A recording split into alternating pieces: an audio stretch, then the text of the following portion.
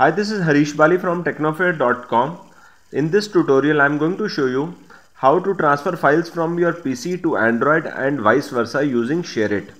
For that, the first thing you will need to do is download ShareIt app on your PC for which I have given link in the description below. And second thing you will need to do is download ShareIt app on your Android.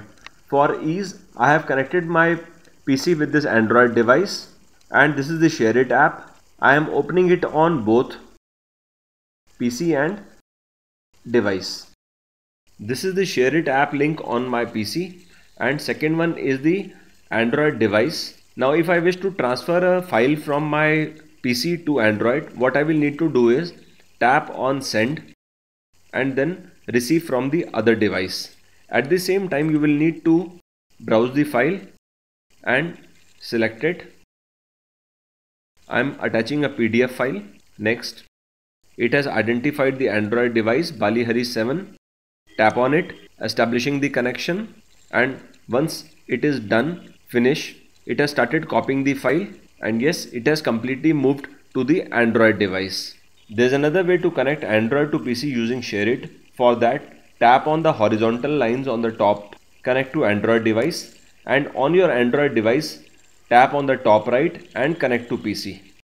Device is identified, tap on it and connection will get established. After the connection is established, you can share files from your Android device to PC. For that, tap on send. I am choosing few random photos from my WhatsApp gallery. Next.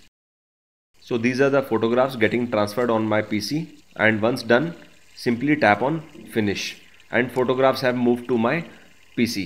Let me now show you the photographs that I have just moved from my Android to PC. Downloads.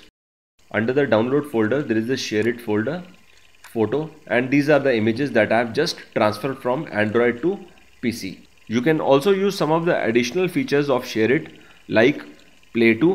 Using this you can run images on your Android and see them on the desktop. Control PPT. Using this you can run PPT on your desktop with your Android device. Send I have already shared. Remote using this you can remotely control your Windows PC. This is regarding taking backup. That was all about connecting your Android device with PC using ShareIt. If you found this tutorial useful, do give it a thumbs up. Also watch other interesting videos by clicking on the links appearing in front of your screen. Don't forget to subscribe to this channel and thanks for watching.